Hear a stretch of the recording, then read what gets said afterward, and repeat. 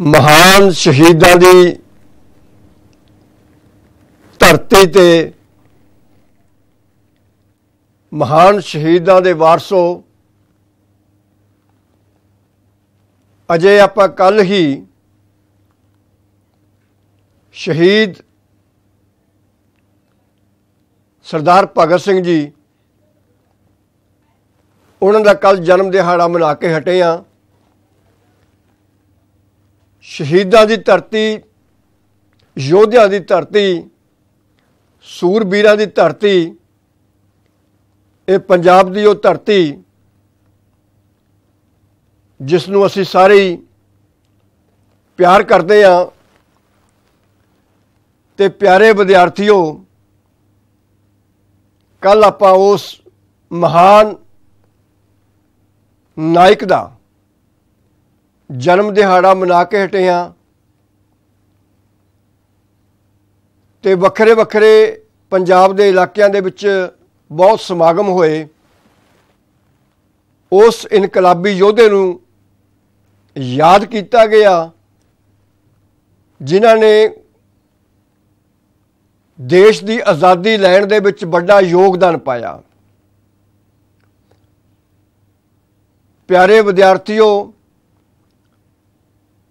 ਤੁਸੀਂ ਦੇਸ਼ ਭਗਤਾਂ ਦੇ ਨਾਂ ਯਾਦ ਕਰਿਓ। ਤੁਹਾਨੂੰ ਸਾਡੇ ਟੀਚਰ ਸਹਿਬਾਨ ਦੱਸ ਦੇਣਗੇ ਕਿ ਸਾਡੇ ਦੇਸ਼ ਦੇ ਵਿੱਚ ਕਿਹੜੇ-ਕਿਹੜੇ ਦੇਸ਼ ਭਗਤ ਹੋਏ ਨੇ, ਕਿੰਨੇ ਕੁ ਹੋਏ ਨੇ। ਆਪਾਂ ਉਹਨਾਂ ਦੀ ਉਂਗਲਾਂ ਦੇ ਉੱਤੇ ਜੇ ਗਿਣਤੀ ਕਰੀਏ 1 2 3 4 ਨਹੀਂ ਹੋ ਸਕਦੀ। ਬਹੁਤ ਗਿਣਤੀ ਆ। ਪਰ ਆਮ ਕਰਕੇ ਬੱਚੇ ਸ਼ਹੀਦ ਭਗਤ ਸਿੰਘ ਨੂੰ ਤਾਂ ਜਾਣਦੇ ਹੀ ਜਾਣਦੇ ਨੇ। ਜਿਉਂ-ਜਿਉਂ ਬੱਚੇ ਵੱਡੇ ਹੁੰਦੇ ਨੇ 8ਵੀਂ ਜਮਾਤ 'ਚ 10ਵੀਂ 'ਚ, ਫਿਰ 12ਵੀਂ 'ਚ ਪਹੁੰਚਦੇ ਨੇ, ਤਿਉਂ-ਤਿਉਂ ਉਹਨਾਂ ਦੀ ਸਮਰੱਥਾ ਦੇ ਅਨੁਸਾਰ ਉਹਨਾਂ ਦੀ ਸੋਚ ਦੇ ਵਿੱਚ, ਤੁਹਾਡੀ ਗਿਆਨ ਦੇ ਵਿੱਚ ਬੱਚਿਓ ਵਾਧਾ ਹੁੰਦਾ ਹੈ।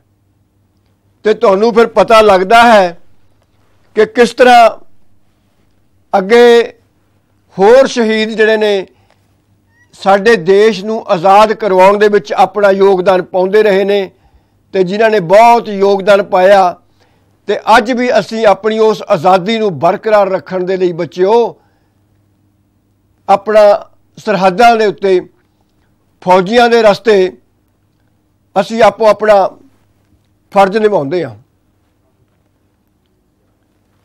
ਸੋ ਪਿਆਰੇ ਵਿਦਿਆਰਥੀਓ, ਅੱਜ ਆਪਾਂ ਉਸੇ ਲੜੀ ਦੇ ਤਹਿਤ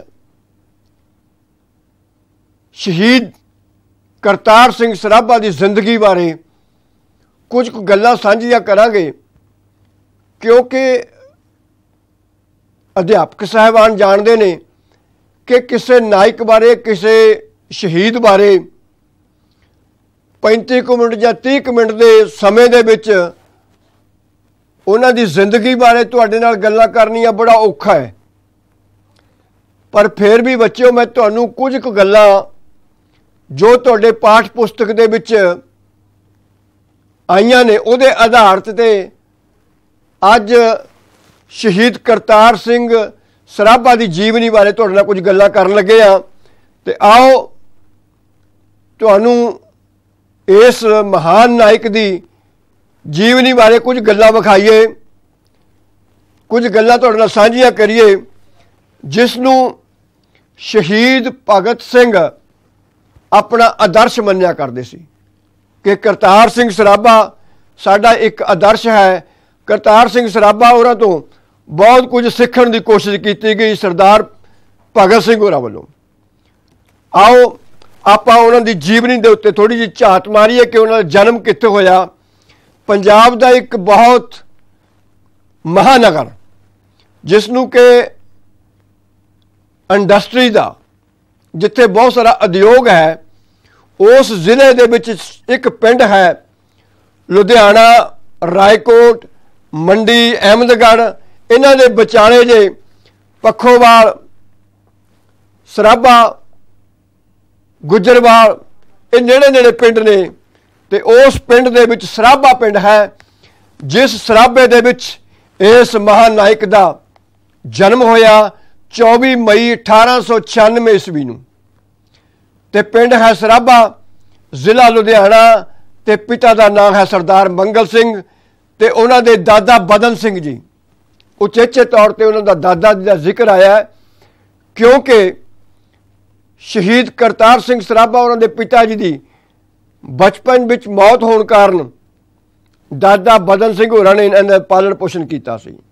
ਤੋਂ ਇਹਨਾਂ ਦਾ ਸ਼ਹੀਦੀ ਦਿਹਾੜਾ 16 ਨਵੰਬਰ 1915 ਅਗਲੇ ਮਹੀਨੇ ਇਹਨਾਂ ਦਾ ਸ਼ਹੀਦੀ ਦਿਹਾੜਾ ਬੇਟਾ ਆਉਣ ਵਾਲਾ ਹੈ, ਪਰ ਇਸ ਮਹੀਨੇ ਦੇ ਵਿੱਚ, ਸਤੰਬਰ ਦੇ ਵਿੱਚ ਵੀ ਇਹਨਾਂ ਦਾ ਇਹ ਮਹੀਨਾ ਜ਼ਿੰਦਗੀ ਦੇ ਨਾਲ ਬੜੇ ਖਾਸ ਤੌਰ ਤੇ ਜੁੜਿਆ ਹੋਇਆ ਹੈ, ਕਿਉਂਕਿ ਇਸ ਮਹੀਨੇ ਦੇ ਵਿੱਚ ਹੀ ਇਹਨਾਂ ਨੂੰ ਸਜ਼ਾ ਸੁਣਾਈ ਗਈ ਸੀ। ਫਾਂਸੀ ਦੀ ਸਜ਼ਾ ਸੁਣਾਈ ਗਈ ਸੀਗੀ।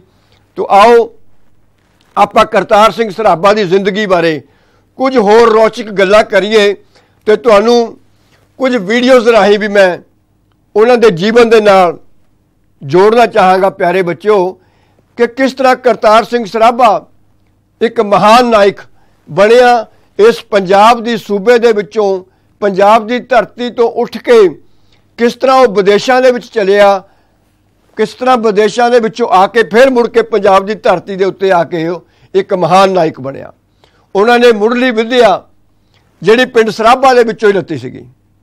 ਅੱਜ ਇਸ ਸਰਾਭਾ ਪਿੰਡ ਦੇ ਵਿੱਚ ਸਕੂਲ ਹੈ, ਜਿਹੜਾ ਕਿ ਉਹਨਾਂ ਦੇ ਨਾਂ ਦੇ ਉੱਤੇ ਸਕੂਲ ਹੈ, ਸ਼ਹੀਦ ਕਰਤਾਰ ਸਿੰਘ ਸਰਾਭਾ ਸਰਕਾਰੀ ਸੀਨੀਅਰ ਸੈਕੰਡਰੀ ਸਕੂਲ, ਸਰਾਭਾ ਜ਼ਿਲ੍ਹਾ ਲੁਧਿਆਣਾ। ਉਸ ਸਕੂਲ ਦੇ ਬੱਚੇ ਵੀ ਇਸ ਪਾਠ ਨੂੰ ਵੇਖ ਰਹੇ ਨੇ।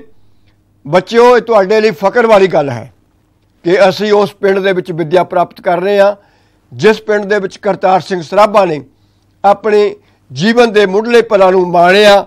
ਤੇ 10ਵੀਂ 8ਵੀਂ ਹੋਰ ਬਾਹਰਲੇ ਸਕੂਲਾਂ ਵਿੱਚੋਂ ਪਾਸ ਕੀਤੀ। 8ਵੀਂ ਉਹਨਾਂ ਨੇ ਲੁਧਿਆਣਾ ਤੋਂ ਪਾਸ ਕੀਤੀ। ਫਿਰ 10ਵੀਂ ਮਿਸ਼ਨ ਹਾਈ ਸਕੂਲ। ਇਹ ਮਿਸ਼ਨ ਹਾਈ ਸਕੂਲ ਉਸ ਵੇਲੇ ਬੜੇ ਬਹੁਤ ਜ਼ਿਆਦਾ ਲੋਕਾਂ ਦੇ ਵਿੱਚ ਜਾਣੇ ਜਾਂਦੇ ਸੀਗੇ। ਕਿਤੇ ਕਿਤੇ ਸਕੂਲ ਹੋਇਆ ਕਰਦੇ ਸੀ। Mission school Lahore, mission school Ludhiana, mission school Ambala. ਤੋਂ ਇਸ ਤਰ੍ਹਾਂ ਇਹਨਾਂ ਮਿਸ਼ਨ ਸਕੂਲਾਂ ਦੇ ਵਿੱਚੋਂ ਬੱਚੇ ਵਿੱਦਿਆ ਪ੍ਰਾਪਤ ਕਰਿਆ ਕਰਦੇ ਸੀ। ਬਚਪਨ ਦੇ ਵਿੱਚ ਪਿਤਾ ਜੀ ਦੀ ਮੌਤ ਹੋ ਗਈ। ਤੇ ਸਾਰਾ ਜਿਹੜਾ ਇਹਨਾਂ ਦਾ ਜੀਵਨ ਦਾ ਪਾਲਣ ਪੋਸ਼ਣ ਸੀ, ਉਹ ਹੁਣੇ ਮੈਂ ਦੱਸ ਕੇ ਹਟਿਆ ਕਿ ਉਹਨਾਂ ਦੇ ਦਾਦਾ ਜੀ ਬਦਨ ਸਿੰਘ ਹੋਰਾਂ ਵੱਲੋਂ ਕੀਤਾ ਗਿਆ ਤੇ ਜਦੋਂ ਉਹਨਾਂ ਦੇ ਬਚਪਨ ਦੇ ਵਿੱਚ ਪਿਤਾ ਜੀ ਦੀ ਮੌਤ ਹੋ ਗਈ 10ਵੀਂ ਪਾਸ ਕਰਨ ਉਪਰੰਤ ਦਾਦਾ ਜੀ ਨਾਲ ਸਲਾਹ ਕੀਤੀ, ਕਰਤਾਰ ਸਿੰਘ ਸਰਾਭਾ ਹੋਰਾਂ ਨੇ ਤੇ ਉਹ ਕਹਿੰਦੇ, ਮੈਂ ਆਪਣੇ ਚਾਚਾ ਜੀ ਕੋਲ ਜਾਣਾ ਚਾਹੁੰਦਾ ਹਾਂ। ਚਾਚਾ ਜੀ ਉਹਨਾਂ ਦੀ ਉੜੀਸਾ ਵਿਖੇ ਰਹਿੰਦੇ ਸੀ। ਉੜੀਸਾ ਜਿੱਥੇ ਕਟਕ ਸ਼ਹਿਰ ਹੈ, ਕਟਕ ਦਰਿਆ ਦੇ ਕੰਢੇ ਵਸਿਆ ਹੋਇਆ ਉਹ ਸ਼ਹਿਰ, ਉੱਥੇ ਉਹ ਚਲੇ ਗਏ। ਆਓ ਤੁਹਾਡੇ ਨਾਲ ਮੈਂ ਇੱਕ ਵੀਡੀਓ ਸਾਂਝੀ ਕਰਦਾ ਹਾਂ। ਬੱਚਿਓ, ਇਹ ਵੀਡੀਓ ਦੇਖੋ ਕਿ ਜਿਸ ਥਾਂ ਦੇ ਉੱਤੇ ਕਰਤਾਰ ਸਿੰਘ ਸਰਾਭਾ ਗਿਆ, ਉਹ ਕਟਕ ਸ਼ਹਿਰ, ਉੜੀਸਾ ਦੇ ਵਿੱਚ। ਆਹ ਦੇਖੋ, ਤੁਹਾਨੂੰ ਇੱਕ ਵੀਡੀਓ ਦਿਖਾਉਣ ਲੱਗਿਆ ਮੈਂ।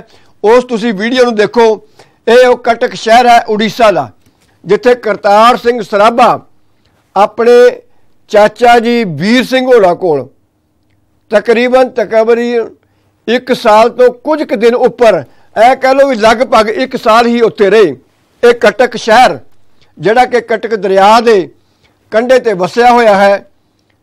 ਆ ਵੇਖੋ ਉਸ ਪਾਣੀ ਦੀਆਂ ਤਸਵੀਰਾਂ ਜਿਸ ਦਰਿਆ ਦੇ ਕੰਢੇ ਦੇ ਉੱਤੇ ਇਹ ਨਗਰ ਵਸਿਆ ਹੋਇਆ ਇੱਥੇ ਕਰਤਾਰ ਸਿੰਘ ਸਰਾਭਾ ਲਗਭਗ 1 ਸਾਲ ਆਪਣੇ ਜੀਵਨ ਦਾ ਸਮਾਂ ਬਤੀਤ ਕਰਕੇ ਉਸ ਤੋਂ ਬਾਅਦ ਵਿਦੇਸ਼ ਚਲਾ ਗਿਆ ਸੀਗਾ।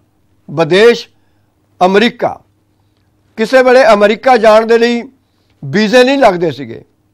ਅੱਜ ਤਾਂ ਲੋਕ ਵੀਜ਼ੇ ਲਵਾ ਕੇ ਬੇਟਾ ਬਾਹਰ ਜਾਂਦੇ ਨੇ। ਤੁਹਾਨੂੰ ਪਤਾ ਨਹੀਂ ਹੋਏਗਾ ਕਿ ਵੀਜ਼ਾ ਕੀ ਚੀਜ਼ ਹੁੰਦੀ ਹੈ, ਤੁਹਾਡੇ ਅਧਿਆਪਕ ਸਾਥੀ ਦੱਸ ਸਕਦੇ ਸਾਡੇ। ਬੇਟਾ ਉੱਚ ਵਿਦਿਆ ਲਈ ਅਮਰੀਕਾ ਚਲਾ ਗਿਆ। ਚਾਚਾ ਜੀ ਨਾਲ ਸਲਾਹ ਕੀਤੀ। ਚਾਚਾ ਜੀ ਸਿੰਘੇ ਵੀਰ ਸਿੰਘ। ਉਹਨਾਂ ਨਾਲ ਸਲਾਹ ਕਰਨ ਉਪਰੰਤ ਉਹ ਅਮਰੀਕਾ ਅਮਰੀਕਾ ਚਲਾ ਗਿਆ। ਕਰਤਾਰ ਸਿੰਘ ਨਿੱਕੀ ਉਮਰੇ ਹੀ ਅਮਰੀਕਾ ਚਲੇ ਗਏ। ਅਮਰੀਕਾ ਜਦੋਂ ਜਾਂਦੇ ਨੇ, ਤਾਂ ਉੱਥੇ ਜਾ ਕੇ ਦਾਖਲਾ ਲੈ ਲਿਆ ਉਹਨਾਂ ਨੇ ਸਨ ਫਰਾਂਸਿਸਕੋ ਯੂਨੀਵਰਸਿਟੀ ਦੇ ਵਿੱਚ। ਆਹ ਵੇਖੋ ਬੱਚਿਓ, ਤੁਹਾਨੂੰ ਮੈਂ ਅਮਰੀਕਾ ਦੀ ਉਹ ਯੂਨੀਵਰਸਿਟੀ ਦਿਖਾਉਣ ਲੱਗਿਆ, ਜਿੱਥੇ ਕਰਤਾਰ ਸਿੰਘ ਸਰਾਭਾ ਉਹਨਾਂ ਨੇ ਜਾ ਕੇ ਦਾਖਲਾ ਲੱਤਿਆ ਤੇ ਉੱਚ ਵਿੱਦਿਆ ਪ੍ਰਾਪਤ ਕੀਤੀ। ਇਹ San Francisco America U S A ਦੀ ਉਹ ਧਰਤੀ ਤੁਹਾਨੂੰ ਵੀਡੀਓ ਰਾਹੀਂ ਬੇਟਾ ਸਾਂਝੀ ਕਰ ਰਿਹਾ, ਦਿਖਾ ਰਿਹਾ, ਜਿੱਥੇ ਜਾ ਕੇ ਕਰਤਾਰ ਸਿੰਘ ਸਰਾਭਾ ਨੇ ਉੱਚ ਵਿੱਦਿਆ ਪ੍ਰਾਪਤ ਕੀਤੀ ਤੇ ਜਿੱਥੇ ਜਾ ਕੇ ਪੜ੍ਹਾਈ ਪ੍ਰਾਪਤ ਕੀਤੀ, ਪੜ੍ਹਾਈ ਕੀਤੀ, ਅੱਜ ਵੀ ਸਾਡੇ ਪੰਜਾਬ ਦੇ ਬੱਚੇ ਇੱਥੇ ਵਿੱਦਿਆ ਪ੍ਰਾਪਤ ਕਰਨ ਜਾਂਦੇ ਨੇ। ਇਹ ਅਮਰੀਕਾ ਦਾ ਉਹ ਸ਼ਹਿਰ ਜਿੱਥੇ ਬਰਕਲੇ ਯੂਨੀਵਰਸਿਟੀ ਹੈ।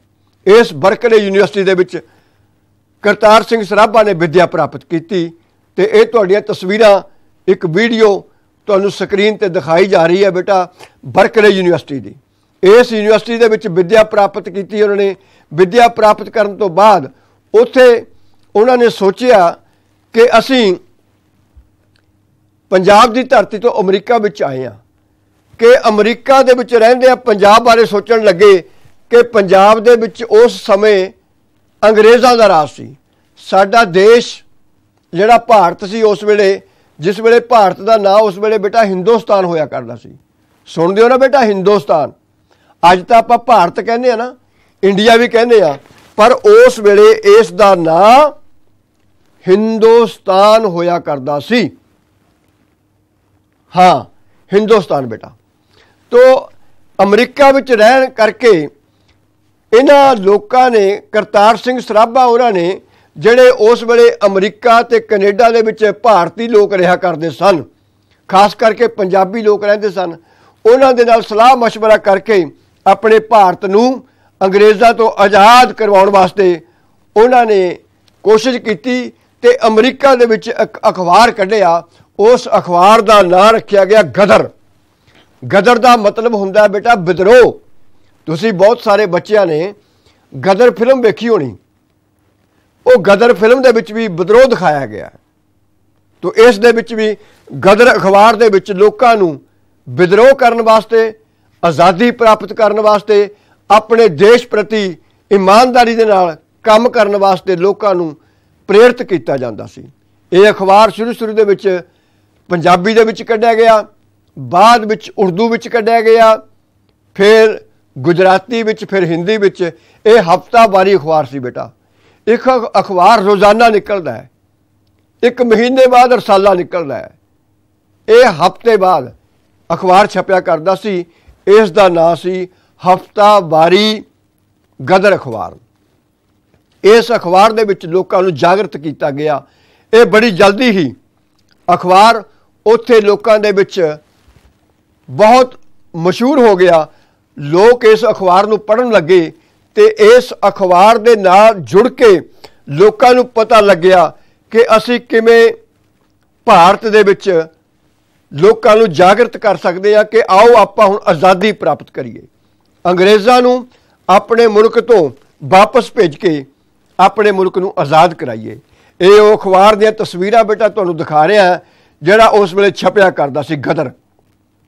ਬੜੀਆਂ ਪੁਰਾਣੀਆਂ ਤਸਵੀਰਾਂ ਨੇ।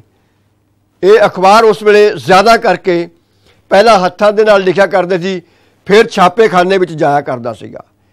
ਇਹ ਗਦਰ ਦੀਆਂ ਤਸਵੀਰਾਂ ਤੁਹਾਨੂੰ ਦਿਖਾ ਰਿਹਾ ਬੇਟਾ ਪੁਰਾਣੀਆਂ, ਤੁਹਾਡੀ ਸਕਰੀਨ ਦੇ ਉੱਤੇ। ਇਹ ਗਦਰ ਨਾਂ ਦਾ ਅਖਬਾਰ, ਜਿਸ ਦਾ ਨਾਂ ਰੱਖਿਆ ਗਿਆ ਸੀ ਹਿੰਦੁਸਤਾਨ ਗਦਰ। ਹਿੰਦੁਸਤਾਨ ਗਦਰ। ਇਸ ਅਖਬਾਰ ਦੇ ਜ਼ਰੀਏ ਲੋਕਾਂ ਨੂੰ ਜਾਗਰਤ ਕੀਤਾ ਗਿਆ। ਫਿਰ ਕਰਤਾਰ ਸਿੰਘ ਸਰਾਭਾ ਨੇ ਕੀ ਸੋਚਿਆ? ਕਿ ਮੈਂ ਅਖਬਾਰ ਦੇ ਰਾਹੀਂ ਤਾਂ ਲੋਕਾਂ ਨੂੰ ਪ੍ਰੇਰਿਤ ਕਰ ਰਿਹਾ ਮੈਂ ਹੁਣ ਅਮਰੀਕਾ ਦੇ ਵਿੱਚ ਆਇਆ ਹਾਂ। ਮੈਂ ਵੀ ਕੋਈ ਅਜਿਹੀ ਚੀਜ਼ ਸਿੱਖ ਕੇ ਜਾਵਾਂ ਜਿਹਦਾ ਮੈਂ ਆਪਣੇ ਦੇਸ਼ ਦੇ ਵਿੱਚ ਲਾਹਾ ਲੈ ਸਕਾਂ। ਆਪਣੇ ਭਾਰਤ ਨੂੰ ਆਜ਼ਾਦ ਕਰਾਂ ਆਜ਼ਾਦ ਕਰਾਵਾਂ। ਤੇ ਭਾਰਤ ਨੂੰ ਆਜ਼ਾਦ ਕਰਵਾਉਣ ਲਈ ਕੀ ਕੀਤਾ ਕਰਤਾਰ ਸਿੰਘ ਸਰਾਭਾ ਨੇ? ਅਮਰੀਕਾ ਦੀ ਇੱਕ ਕੰਪਨੀ ਦੇ ਵਿੱਚ ਜਹਾਜ਼ਾਂ ਨੂੰ ਠੀਕ ਕਰਨ ਦਾ ਕੰਮ ਸਿੱਖਣਾ ਸ਼ੁਰੂ ਕਰ ਦਿੱਤਾ ਗਿਆ। ਜਹਾਜ਼ਾਂ ਨੂੰ ਠੀਕ ਕਰਨ ਦਾ ਕੰਮ ਸ਼ੁਰੂ ਕੀਤਾ ਤੇ ਨਾਲ ਦੀ ਨਾਲ ਉਹਨਾਂ ਨੇ ਜਹਾਜ਼ਾਂ ਨੂੰ ਚਲਾਉਣ ਦੀ ਪ੍ਰਕਿਰਿਆ, ਭਾਵ ਜਹਾਜ਼ਾਂ ਦਾ ਡਰਾਈਵਰ ਵੀ ਬਣਨਾ, ਜਿਹਨੂੰ ਪਾਇਲਟ ਕਹਿੰਦੇ ਨੇ। ਉਹ ਬਣਨ ਦੀ ਕੋਸ਼ਿਸ਼ ਕੀਤੀ ਤੇ ਅਖੀਰ ਉਹ ਜਹਾਜ਼ਾਂ ਦੇ ਪੁਰਜੇ ਠੀਕ ਕਰਨ ਤੋਂ ਬਾਅਦ ਜਹਾਜ਼ਾਂ ਦੀ ਮੁਰੰਮਤ ਕਰਨੀ ਸਿੱਖ ਗਏ। ਜਹਾਜ਼ ਚਲਾਉਣਾ ਸਿੱਖ ਗਏ, ਜਿਹੜੇ ਕਿ ਹਵਾਈ ਜਹਾਜ਼ ਹੁੰਦੇ ਨੇ।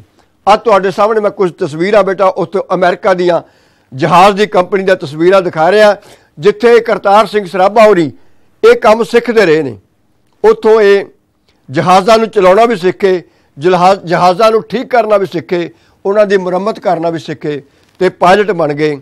ਪਾਇਲਟ ਬਣਨ ਤੋਂ ਬਾਅਦ ਅਮਰੀਕਾ ਦੀ ਧਰਤੀ ਤੋਂ ਇਸ ਤਰ੍ਹਾਂ ਦੇ ਜਹਾਜ਼ ਉਡਾਉਣੇ ਸਿੱਖੇ ਤੇ ਤਾਂ ਉਹ ਵਾਪਸ ਪੰਜਾਬ ਦੇ ਵਿੱਚੋਂ ਵੀ ਆਉਂਦੇ ਨੇ ਕਿ ਕਿਸ ਤਰ੍ਹਾਂ ਅਸੀਂ ਭਾਰਤ ਨੂੰ ਆਜ਼ਾਦ ਕਰਾਉਣਾ ਹੈ। ਇਹ ਸਤੰਬਰ ਦਾ ਮਹੀਨਾ ਖਾਸ ਉਚੇਚੇ ਤੌਰ ਤੇ ਚੁਣਿਆ ਗਿਆ, ਕਿਉਂਕਿ ਸਤੰਬਰ ਦੇ ਮਹੀਨੇ ਇਹਨਾਂ ਨੂੰ ਫਾਂਸੀ ਦੀ ਸਜ਼ਾ ਸੁਣਾਈ ਗਈ ਸੀ। ਆ ਦੇਖੋ, ਅਸਮਾਨ ਦੇ ਵਿੱਚ ਕਿਸ ਤਰ੍ਹਾਂ ਇੱਕ ਜਹਾਜ਼ ਦੇ ਅੰਦਰ ਇੱਕ ਦੂਜੇ ਜਹਾਜ਼ ਨੂੰ ਮੁਰੰਮਤ ਕੀਤਾ ਜਾਂਦਾ ਹੈ। ਆ ਦੇਖੋ ਕਿਸ ਤਰ੍ਹਾਂ ਪੈਟਰੋਲ ਭਰਿਆ ਜਾਂਦਾ ਹੈ। ਅਸਮਾਨ ਦੇ ਵਿੱਚ ਹੀ ਪੈਟਰੋਲ ਦਿੱਤਾ ਜਾਂਦਾ ਹੈ। ਹਾਂ, ਪਿਆਰੇ ਵਿਦਿਆਰਥੀਓ, ਇਹ ਸਭ ਤੋਂ ਖਤਰਨਾਕ ਜਹਾਜ਼ ਨੇ ਜਿਹੜੇ ਅੱਜ ਕੱਲ ਅਮਰੀਕਾ ਦੇ ਕੋਲ, ਜਿਹਨੂੰ ਤੁਸੀਂ ਯੂ ਐਸ ਏ ਕਹਿੰਦੇ ਹੋ, ਯੂਨਾਈਟਿਡ ਸਟੇਟ ਆਫ ਅਮਰੀਕਾ। ਇਹ ਉਸ ਦੇਸ਼ ਦੇ ਬਹੁਤ ਤਕਨੀਕੀ ਉੱਚ ਪੱਧਰ ਦੇ ਜਹਾਜ਼ ਨੇ, ਜਿਹੜੇ ਕਿ ਬੜੇ ਵੱਡੇ ਲੜਾਕੂ ਜਹਾਜ਼ ਨੇ, ਦੁਸ਼ਮਣਾਂ ਨੂੰ ਹਮਲਾ ਕਰਨ ਵਾਲੇ। ਹੁਣ ਅਮਰੀਕਾ ਦੇ ਵਿੱਚ ਬੇਟਾ ਰਹਿੰਦੇ ਰਹਿੰਦੇ ਆ ਕਰਤਾਰ ਸਿੰਘ ਸਰਾਭੇ ਨੇ ਸੁਪਨੇ ਲੈਣੇ ਸ਼ੁਰੂ ਕਰ ਦਿੱਤੇ ਕਿ ਦੇਸ਼ ਨੂੰ ਆਜ਼ਾਦ ਕਰਾਉਣਾ ਹੈ। ਦੇਸ਼ ਨੂੰ ਆਜ਼ਾਦ ਕਰਾਉਣ ਲਈ ਸੁਪਨੇ ਲੈਣ ਲੱਗੇ, ਲੋਕਾਂ ਨੂੰ ਜਾਗਰਤ ਕਰਨ ਲੱਗ ਪਏ। ਲੋਕਾਂ ਨੂੰ ਜਾਗਰਤ ਕਰਦਿਆਂ ਕਰਦਿਆਂ ਉਹਨਾਂ ਨੂੰ ਸਮਾਂ ਆ ਗਿਆ ਕਿ ਬੇਟਾ ਅਮਰੀਕਾ ਦੇ ਜਿਹੜੇ ਆਲੇ ਦੁਆਲੇ ਦੇ ਮੁਲਕ ਸੀ ਦੇਸ਼ ਸੀ, ਉਹਨਾਂ ਦਾ ਆਪਸ ਦੇ ਵਿੱਚ ਯੁੱਧ ਛਿੜ ਪਿਆ। ਇਹ ਯੁੱਧ ਜਿਹੜਾ ਛਿੜਿਆ ਹੈਗਾ, ਇਹ ਯੁੱਧ ਬੇਟਾ ਛਿੜ ਪਿਆ ਆਪਣਾ ਬਰਤਾਨੀਆ, ਫਰਾਂਸ, ਜਰਮਨੀ, ਆਸਟਰੀਆ ਤੇ ਹੰਗਰੀ। ਇਹਨੂੰ ਪਹਿਲਾ ਵਿਸ਼ਵ ਯੁੱਧ ਆਖਦੇ ਨੇ ਬੇਟਾ ਜੀ। ਪਹਿਲਾ ਵਿਸ਼ਵ ਯੁੱਧ। ਆਪਣੇ ਟੀਚਰ ਨੂੰ ਪੁੱਛਿਓ, ਉਹ ਤੁਹਾਨੂੰ ਦੱਸਣਗੇ ਕਿ ਵਿਸ਼ਵ ਯੁੱਧ ਹੁੰਦਾ ਕੀ ਹੈ। ਜਦੋਂ ਬਹੁਤ ਸਾਰੇ ਮੁਲਕ ਆਪਸ ਦੇ ਵਿੱਚ ਇਕੱਠੇ ਲੜ ਪੈਣ, ਉਹਨੂੰ ਵਿਸ਼ਵ ਯੁੱਧ ਕਹਿੰਦੇ ਨੇ। ਦੋ ਵਿਸ਼ਵ ਯੁੱਧ ਹੋਏ ਨੇ ਬੇਟਾ, ਸੰਸਾਰ ਜੰਗ। ਪਹਿਲੀ ਸੰਸਾਰ ਜੰਗ 25 ਜੁਲਾਈ 1914 ਨੂੰ। ਆ ਤੁਹਾਡੀ ਸਕਰੀਨ ਤੇ ਦਿਖਾ ਰਿਹਾ ਬੇਟਾ ਮੈਂ। 25 ਜੁਲਾਈ 1914 ਨੂੰ ਪਹਿਲਾ ਵਿਸ਼ਵ ਯੁੱਧ ਸ਼ੁਰੂ ਹੋਇਆ ਤੇ ਉਸ ਵੇਲੇ ਕਰਤਾਰ ਸਿੰਘ ਸਰਾਭਾ ਨੇ ਕੀ ਸੁਣਿਆ? ਸੋਚਿਆ ਕਿ ਹੁਣ ਇਸ ਵਿਸ਼ਵ ਯੁੱਧ ਤੋਂ ਲਾਹਾ ਲੈਣ ਦਾ ਵਾਰੀ ਆ ਗਈ ਤੇ ਆਪਾਂ ਇਹ ਮੁਲਕ ਬਰਤਾਨੀਆ ਤੇ ਦੂਜੇ ਲੋਕ ਜਿਹੜੇ ਦੂਜੇ ਮੁਲਕ ਨੇ ਉਹ ਵਿਸ਼ਵ ਯੁੱਧ ਦੇ ਵਿੱਚ ਉਲਝ ਗਏ ਨੇ ਤੇ ਆਪਾਂ ਵੀ ਜਾ ਕੇ ਆਪਣੇ ਦੇਸ਼ ਨੂੰ ਆਜ਼ਾਦ ਕਰਾਈਏ। ਇਹ ਤੁਹਾਨੂੰ ਵਿਸ਼ਵ ਯੁੱਧ ਦੀਆਂ ਕੁਝ ਤਸਵੀਰਾਂ ਤੁਹਾਡੇ ਸਾਹਮਣੇ ਦਿਖਾ ਰਿਹਾ ਬੇਟਾ। ਜਿਹੜਾ ਵਿਸ਼ਵ ਯੁੱਧ ਹੋਇਆ, ਉਸ ਵੇਲੇ ਦੀਆਂ ਕੁਝ ਪੁਰਾਣੀਆਂ ਤਸਵੀਰਾਂ। ਕਿ ਕਿਸ ਤਰ੍ਹਾਂ ਇੱਕ ਦੂਜੇ ਦੇ ਦੇਸ਼ਾਂ ਦੇ ਫੌਜੀਆਂ ਨੇ ਇੱਕ ਦੂਜੇ ਦੇ ਦੇਸ਼ਾਂ ਨੂੰ ਤਬਾਹ ਕੀਤਾ, ਬਰਬਾਦ ਕੀਤਾ, ਮਾਰਿਆ, ਖਤਮ ਕੀਤਾ ਗਿਆ। ਉਹਦੀਆਂ ਤਸਵੀਰਾਂ ਦੇਖੋ ਬੇਟਾ ਕਿਸ ਤਰ੍ਹਾਂ ਫੌਜੀ ਹਮਲੇ ਹੁੰਦੇ ਨੇ। ਜਦੋਂ ਇਹ ਹਮਲੇ ਹੁੰਦੇ ਨੇ, ਇਹ ਲੜਾਈਆਂ ਹੁੰਦੀਆਂ ਨੇ, ਇਹ ਯੁੱਧਾਂ ਨੂੰ ਫੌਜੀ ਸਰ ਅੰਜਾਮ ਦਿੰਦੇ ਨੇ, ਤਾਂ ਉਦੋਂ ਬੇਟਾ ਬਹੁਤ ਸਾਰੇ ਲੋਕਾਂ ਦੀ ਮੌਤ ਹੁੰਦੀ ਹੈ। ਬੜੇ ਦੇਸ਼ ਦਾ ਉਜਾੜਾ ਹੁੰਦਾ ਹੈ। ਬਹੁਤ ਲੋਕਾਂ ਨੂੰ ਮੌਤ ਦੇ ਮੂੰਹ ਜਾਣਾ ਪੈਂਦਾ ਹੈ। ਉਸ ਵੇਲੇ ਇਹਨਾਂ ਤੋਪਾਂ ਦੇ ਗੋਲੇ, ਬੰਦੂਕਾਂ ਦੀਆਂ ਗੋਰੀਆਂ ਇਹ ਨਹੀਂ ਵੇਖਦੀਆਂ ਕਿ ਬੱਚਾ ਹੈ, ਵੱਡਾ ਹੈ, ਬੁੱਢਾ ਹੈ ਇਸਤਰੀ ਹੈ ਜਾਂ ਇਹ ਚੰਗਾ ਹੈ ਜਾਂ ਮਾੜਾ ਹੈ, ਜੋ ਉਹਦੇ ਸਾਹਮਣੇ ਆ ਗਿਆ, ਉਹ ਸਾਰਿਆਂ ਨੂੰ ਮੌਤ ਦੇ ਮੂੰਹ ਦੇ ਵਿੱਚ ਜਾਣਾ ਪੈਂਦਾ ਹੈ। ਆ ਦੇਖੋ ਬੇਟਾ, ਤੁਹਾਡੇ ਸਾਹਮਣੇ ਤਸਵੀਰਾਂ, ਉਸ ਦੂਜੇ ਸੰਸਾਰ ਯੁੱਧ ਦੀਆਂ, ਪਹਿਲੇ ਸੰਸਾਰ ਯੁੱਧ ਦੀਆਂ। ਖਿਮਾ, ਇਹ ਪਹਿਲਾ ਸੰਸਾਰ ਯੁੱਧ ਹੈ ਬੇਟਾ। ਆ ਵੇਖੋ ਕਿਸ ਤਰ੍ਹਾਂ ਬੰਬ ਡਿੱਗਦੇ ਪਏ ਨੇ ਧਰਤੀ ਦੇ ਉੱਤੇ। ਇਹ ਬੰਬ ਜਿੱਥੇ ਵੀ ਡਿੱਗਦੇ ਨੇ, ਤਬਾਹੀ ਮਚਦੀ ਹੈ। ਇਸ ਤਬਾਹੀ ਦੇ ਵਿੱਚ ਪਤਾ ਨਹੀਂ ਕਿੰਨੇ ਕੁ ਲੋਕਾਂ ਦਾ ਨੁਕਸਾਨ ਹੁੰਦਾ ਹੈ। ਸੋ ਇਸ ਤਰ੍ਹਾਂ ਪਿਆਰੇ ਵਿਦਿਆਰਥੀ, ਜਦੋਂ ਸੰਸਾਰ ਦੇ ਉੱਤੇ ਪਹਿਲਾ ਵਿਸ਼ਵ ਯੁੱਧ ਲੱਗਿਆ, ਤਾਂ ਕਰਤਾਰ ਸਿੰਘ ਸਰਾਭੇ ਹੋਰਾਂ ਨੇ ਆਪਣੇ ਬਹੁਤ ਸਾਰੇ ਸਾਥੀਆਂ ਨੂੰ ਨਾਲ ਲੈ ਕੇ ਪੰਜਾਬ ਦੇ ਵਿੱਚ ਵਾਪਸ ਪਰਤਣਾ ਚਾਹਿਆ ਕਿ ਮੈਂ ਹੁਣ ਪੰਜਾਬ ਦੀ ਧਰਤੀ ਤੇ ਵਾਪਸ ਜਾਵਾਂ। ਉੱਥੋਂ ਦੇ ਲੋਕਾਂ ਨੂੰ ਇਕੱਠਿਆ ਕਰਕੇ ਹੁਣ ਇੱਕ ਸਮਾਂ ਆ ਗਿਆ ਕਿ ਦੇਸ਼ ਨੂੰ ਆਜ਼ਾਦ ਕਰਾਉਣਾ ਬਣਦਾ ਹੈ। ਕਿਉਂਕਿ ਇੱਧਰ ਵਿਸ਼ਵ ਯੁੱਧ ਲੱਗ ਗਿਆ ਤੇ ਉਧਰ ਆਪਾਂ ਆਪਣੇ ਲੋਕਾਂ ਨੂੰ ਇਕੱਠਿਆਂ ਕਰਕੇ ਹਥਿਆਰਬੰਦ ਤਰੀਕੇ ਦੇ ਨਾਲ ਇਹਨਾਂ ਅੰਗਰੇਜ਼ਾਂ ਨੂੰ ਦੇਸ਼ ਦੇ ਵਿੱਚੋਂ ਬਾਹਰ ਕੱਢਿਆ ਜਾਵੇ, ਹਥਿਆਰ ਇਕੱਠੇ ਕੀਤੇ ਜਾਣ, ਪੈਸਾ ਇਕੱਠਾ ਕੀਤਾ ਜਾਵੇ, ਤੋਂ ਇਸ ਤਰ੍ਹਾਂ ਕਰਤਾਰ ਸਿੰਘ ਸਰਾਭਾ ਜਿਹੜਾ ਅਮਰੀਕਾ ਛੱਡ ਕੇ ਵਾਪਸ ਪੰਜਾਬ ਪਰਤਦਾ ਹੈ, ਆਓ ਹੁਣ ਆਪਾਂ ਤੁਹਾਡੇ ਨਾਲ ਕੁਝ ਗੱਲਾਂ ਕਰਾਂਗੇ ਕਿ ਕਿਸ ਤਰ੍ਹਾਂ ਅਮਰੀਕਾ ਤੋਂ ਵਾਪਸ ਆ ਕੇ ਪੰਜਾਬ ਦੀ ਧਰਤੀ ਦੇ ਉੱਤੇ ਆਉਂਦਾ ਹੈ ਤੇ ਜਦੋਂ ਅਮਰੀਕਾ ਤੋਂ ਪੰਜਾਬ ਆਉਂਦਾ ਹੈ, ਤਾਂ ਉਹ ਬੇਟਾ ਉਸ ਵੇਲੇ ਇੱਕੋ ਇੱਕ ਜ਼ਰੀਆ ਹੋਇਆ ਕਰਦਾ ਸੀ। ਉਹ ਕਿਵੇਂ ਵਾਪਸ ਆਏ? ਆ ਤੁਹਾਨੂੰ ਇੱਕ ਸਮੁੰਦਰੀ ਜਹਾਜ਼ ਜਾਪਾਨ ਦੇ ਰਸਤੇ ਰਾਹੀਂ ਨਿਪਨ ਮਾਰੂ ਜਹਾਜ਼ ਦਾ ਨਾਮ ਹੈ। ਇਹਨਾਂ ਜਹਾਜ਼ਾਂ ਦੇ ਰਸਤਿਆਂ ਦੇ ਰਾਹੀਂ ਇਹਨਾਂ ਬੰਦਰਗਾਹਾਂ ਦੇ ਰਾਹੀਂ ਪਾਣੀ ਦੇ ਰਾਹੀਂ ਵਾਪਸ ਪਹੁੰਚੇ।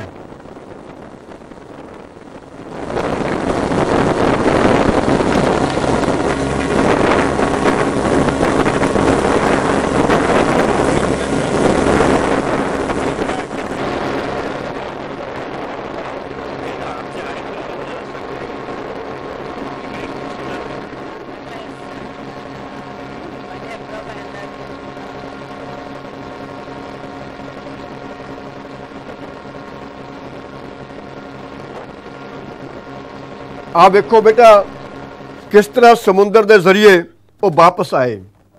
ਵਾਪਸ ਕਿਉਂ ਆਉਣਾ ਪਿਆ? ਕਿਉਂਕਿ ਅਮਰੀਕਾ ਦੇ ਵਿੱਚ ਬੇਟਾ ਉਹਨਾਂ ਨੇ ਇੱਕ ਗਦਰ ਪਾਰਟੀ ਬਣਾਈ ਸੀ। ਉਸ ਗਦਰ ਪਾਰਟੀ ਦੇ ਜਿਹੜੇ ਪ੍ਰਧਾਨ ਸੀ, ਉਹ ਸੋਹਣ ਸਿੰਘ ਭਕਨਾ ਤੇ ਸਕੱਤਰ ਲਾਲਾ ਹਰਦਿਆਲ ਜੀ ਬਣਾਏ ਗਏ ਸੀ। ਹੁਣ ਉਹ ਬਾਕੀ ਜ਼ਿੰਮੇਵਾਰੀ ਸਰਦਾਰ ਸੋਹਣ ਸਿੰਘ ਭਕਨਾ ਤੇ ਲਾਲਾ ਹਰਦਿਆਲ ਉਹਨਾਂ ਨੂੰ ਦੇ ਕੇ ਕਰਤਾਰ ਸਿੰਘ ਸਰਾਭਾ ਵਾਪਸ ਪੰਜਾਬ ਆ ਗਿਆ। ਪੰਜਾਬ ਦੀ ਧਰਤੀ ਤੇ ਆ ਕੇ ਲੋਕਾਂ ਨੂੰ ਇਕੱਠੇ ਕਰਦਾ ਹਥਿਆਰ ਖਰੀਦਣ ਵਾਸਤੇ ਲੋਕਾਂ ਕੋਲੋਂ ਪੈਸੇ ਇਕੱਤਰ ਕਰਦੇ ਨੇ। ਯਾਰਾਂ ਮਿੱਤਰਾਂ ਨੂੰ ਇਕੱਠਾ ਕੀਤਾ ਤੇ ਫੌਜ ਦੀਆਂ ਪਲਟਣਾਂ ਦੇ ਵਿੱਚ ਜਾ ਕੇ ਫੌਜੀਆਂ ਨੂੰ ਉਕਸਾਇਆ ਗਿਆ ਕਿ ਹੁਣ ਸਮਾਂ ਹੈ, ਤੁਸੀਂ ਵਿਰੋਧ ਕਰੋ, ਤੁਸੀਂ ਵਿਦਰੋਹ ਕਰੋ, ਤਾਂ ਜੋ ਆਪਾਂ ਭਾਰਤ ਨੂੰ ਮੁਕਤ ਕਰ ਸਕੀਏ। ਪੰਜਾਬ ਨੂੰ ਭਾਰਤ ਨੂੰ ਆਪਾਂ ਅੰਗਰੇਜ਼ਾਂ ਕੋਲੋਂ ਮੁਕਤ ਕਰਾ ਸਕੀਏ। ਤੇ 2 ਮਾਰਚ, ਇਸ ਤਰ੍ਹਾਂ ਵੱਖਰੇ ਵੱਖਰੇ ਤਰੀਕਿਆਂ ਦੇ ਨਾਲ, ਕਰਤਾਰ ਸਿੰਘ ਸਰਾਭਾ ਆਪਣੇ ਦੋਸਤਾਂ ਦੇ ਨਾਲ ਕਦੇ ਫਿਰੋਜ਼ਪੁਰ ਦੀਆਂ ਚੌਣੀਆਂ 'ਚ, ਕਦੇ ਮੀਆਂਮਾਰ ਦੀ ਚੌਣੀਆਂ ਦੇ ਵਿੱਚ, ਕਦੇ ਅੰਮ੍ਰਿਤਸਰ ਦੀਆਂ ਚੌਣੀਆਂ ਦੇ ਵਿੱਚ ਛਾਪੇ ਮਾਰਦੇ ਨੇ, ਲੋਕਾਂ ਨੂੰ ਮਿਲਦੇ ਨੇ, ਰਾਤ ਨੂੰ ਪੈਸੇ ਇਕੱਠੇ ਕਰਦੇ ਨੇ, ਫੌਜੀਆਂ ਦੇ ਨਾਲ ਰਾਬਤਾ ਕਾਇਮ ਕਰਦੇ ਨੇ। ਇਸ ਤਰ੍ਹਾਂ ਉਹ ਵੱਖਰੇ ਵੱਖਰੇ ਤਰੀਕੇ ਦੇ ਨਾਲ ਕਦੇ ਲਾਹੌਰ ਜਾਂਦੇ ਨੇ, ਕਦੇ ਸਰਗੋਧਲੇ ਜਾਂਦੇ ਨੇ ਤੇ ਪੈਸੇ ਇਕੱਠੇ ਕਰਦੇ ਨੇ ਤੇ ਉਸ ਗਦਰ ਅਖਬਾਰ ਦੀਆਂ ਜਿਹੜੀਆਂ ਬਹੁਤ ਖੂਬਸੂਰਤ ਜੁਝਾਰੂ ਕਵਤਾਵਾਂ ਨੇ, ਉਹ ਸੁਣਾਉਂਦੇ ਨੇ ਤੇ ਲੋਕਾਂ ਨੂੰ ਇਕੱਠੇ ਕਰਦੇ ਨੇ।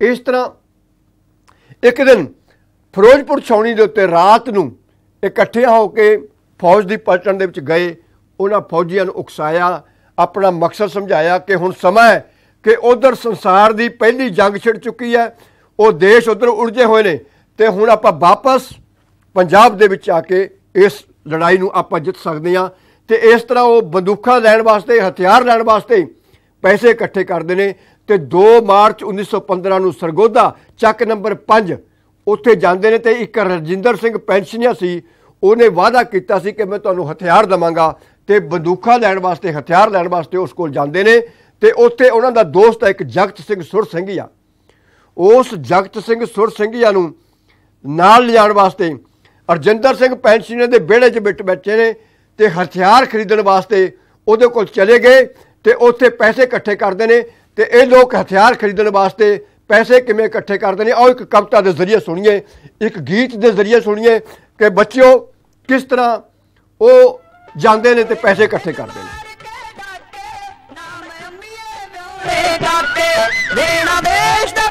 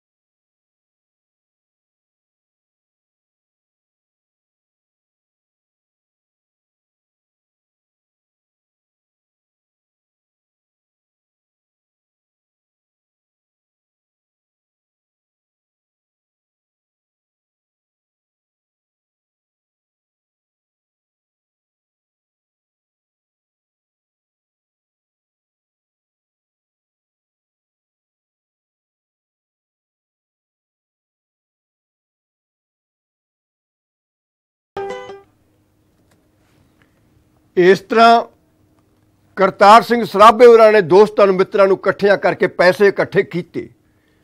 ਲੋਕਾਂ ਦੇ ਮਨਾਂ ਦੇ ਅੰਦਰ ਇੱਕ ਭਾਂਬੜ ਮਚਾ ਦਿੱਤਾ ਤੇ 21 ਫਰਵਰੀ 1915 ਨੂੰ ਭਾਰਤ ਦੇ ਅੰਦਰ, ਪੰਜਾਬ ਦੇ ਅੰਦਰ ਹਮਲਾ ਕਰਨ ਦੀ ਤਾਰੀਖ ਮਿਥ ਲਈ ਗਈ ਤੇ ਜਦੋਂ ਹਮਲਾ ਕਰਨ ਦੀ ਤਾਰੀਖ ਮਿਥ ਲਈ ਗਈ, ਇੱਕ ਮੁਖਬਰ ਨੇ ਕਿਰਪਾਲ ਸਿੰਘ, ਉਸ ਦਾ ਨਾਂ ਸੀ ਚੁਗਲੀਖੋਰ ਨੇ ਚੁਗਲੀ ਕਰ ਦਿੱਤੀ ਗਈ। ਇਸ ਤਰ੍ਹਾਂ ਉਹਨਾਂ ਦਾ ਸਾਰਾ ਜਿਹੜਾ ਪਲਾਨ ਸੀ ਖਤਮ ਹੋ ਗਿਆ।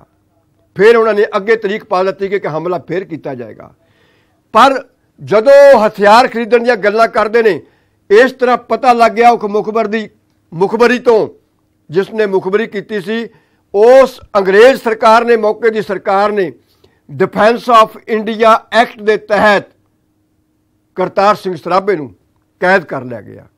ਫੜ ਲਿਆ ਗਿਆ। ਜਗਤ ਸਿੰਘ ਸੁਰ ਸਿੰਘੀਆਂ ਨੂੰ ਫੜ ਲਿਆ ਗਿਆ। ਹਰਨਾਮ ਸਿੰਘ ਟੂੜੀ ਲਾਟ ਨੂੰ ਫੜ ਲਿਆ ਗਿਆ। 82 ਦੇਸ਼ ਭਗਤਾਂ ਨੂੰ ਫੜ ਲਿਆ ਗਿਆ। ਇਹਨਾਂ ਦੇਸ਼ ਭਗਤਾਂ ਨੂੰ ਫੜ ਕੇ ਇਹਨਾਂ ਦੇ ਉੱਤੇ ਮੁਕੱਦਮਾ ਚਲਾਇਆ ਗਿਆ।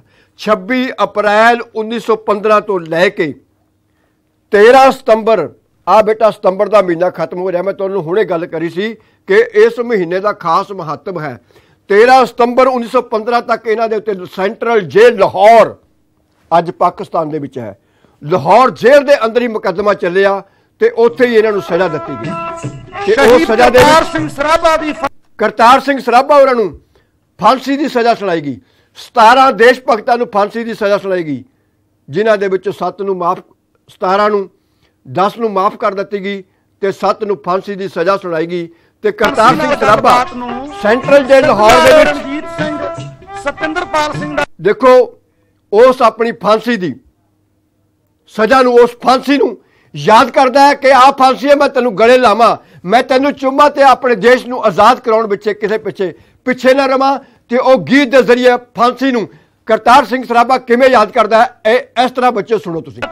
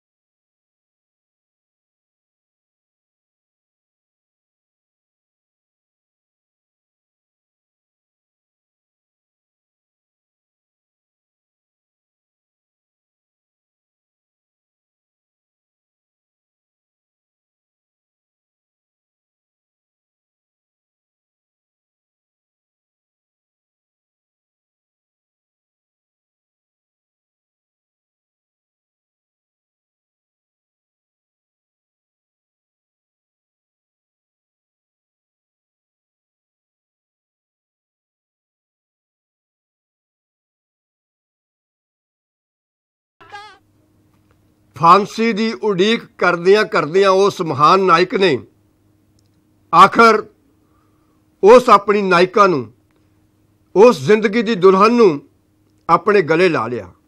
ਪਿਆਰੇ ਵਿਦਿਆਰਥੀਓ, ਇਸ ਕਰਤਾਰ ਸਿੰਘ ਸਰਾਭਾ ਨੂੰ 16 ਨਵੰਬਰ 1915 ਨੂੰ ਲਾਹੌਰ ਸੈਂਟਰਲ ਜੇਲ੍ਹ ਵਿੱਚ ਫਾਂਸੀ ਦੇ ਦਿੱਤੀ ਗਈ।